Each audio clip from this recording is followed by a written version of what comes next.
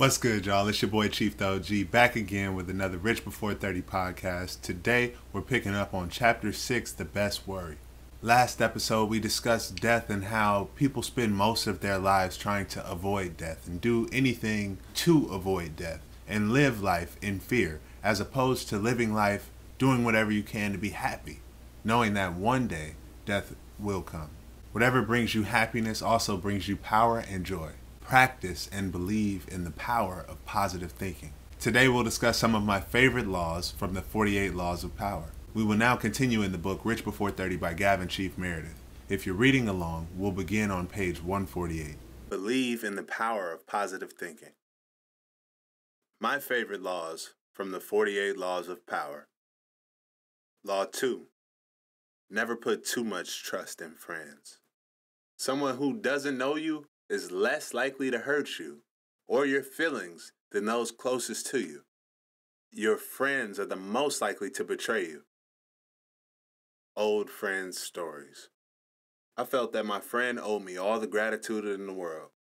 If it were not for my initiative in releasing music, my friend may have never released a single song. This was my biggest mistake. I allowed my friend to see power up close. He saw that anything I wanted I was able to get. Without him actually putting forth any effort, he expected the same. I created a monster. Many people do the same in his situation.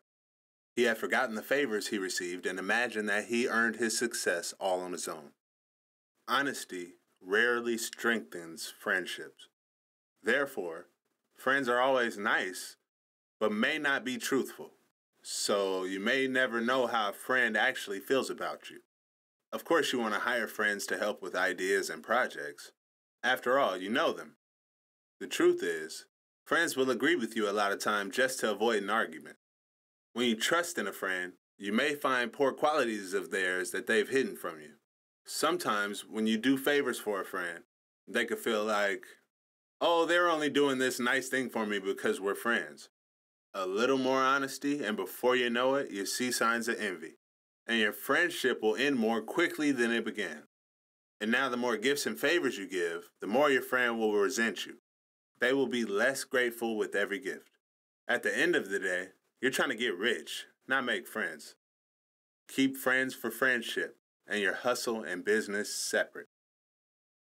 My old friend, who I mentioned earlier, who removed my section of the song because he didn't want to see me progress, in his anger and jealousy, he went to my Instagram comments to shit talk me. I responded by calling them little. By little, I meant in stature and in mind state. Here was someone I once thought to be a friend who was now expressing his anger toward our ended friendship on social media for all the world to see. I won't sugarcoat it. I responded by calling him a bitch. In almost every language, when testosterone is involved, a fistfight is usually what comes next. A good friend of my father, whom I call uncle, advised me to surprise my friend and shake his hand and show no animosity the next time I saw him. Whenever you can, bury the hatchet with an enemy. The 48 Laws of Power. I ran into this friend at a mutual friend's barbershop one day, and I did exactly that. Shook his hand. Dead it. It's not worth your energy. You need all your energy focusing on getting rich. Law 9. Win through actions, never through argument. Some people argue with you just for the sake of argument. In their mind, they're always right, even when they're proven wrong. When you argue with someone who thinks they're smarter than you or more entitled than you, they assume that you don't know what you're talking about. But they, in fact, have all the knowledge. When you're arguing with someone who likes to argue, it's like arguing with a brick wall. When this person feels cornered, they only start to argue more. If you listen closely, this person will dig their own grave with their arguments, making contradictions frequently. But if this person who loves to argue gets you to question or feel insecure in your beliefs, then they'll never stop. We all believe we have the right answer. The key is to show that you're correct through action. Law 25 Recreate yourself. Fuck the rules. If you don't like who you are, you can change everything about yourself today. You can change the way you think and you can change your actions. Love yourself. Be the master of your own image. Don't let others define it for you. Hype yourself up, even if no one else will. Live by your words. Don't be a hypocrite. Law 29. Plan all the way to the end. When you know what your end goal is, you know what you're headed for, and you know when to stop. Sometimes you have to take a break, step back, appreciate, and assess what you have accomplished. From here, you can figure out exactly what it is that you want to do or where you want to go next. This is most likely where you are now. Take a look at everything you've accomplished. Take a look at how far you've come. You've done it once, you've done it twice, you can do it again. You're doing great. This is perfect. I really needed this uh, section of my book right now. It's crazy reading this uh, second time along or you know, of course, I read it a lot in editing and going back in, but just sitting here and reading it with this podcast, um, I need each section of this book in a different way as we've come across it on this journey together. Law 2 Never put too much trust in friends. If you put a lot of trust in your friends, you're most likely going to get hurt. And that goes back to setting high expectations and not really asking enough questions. You may begin to work with a friend and realize that you're more passionate about a project than they are. Or you may even find that your theories on how to get things done are completely different and do not and cannot coincide. I know from personal experience, I've got some friends who just work too slow. And that's okay. Everybody has the right to live their life the way they want to live it. Some people like taking time with projects, and for me, time doesn't stop. But what also doesn't stop for me is the ideas I come up with.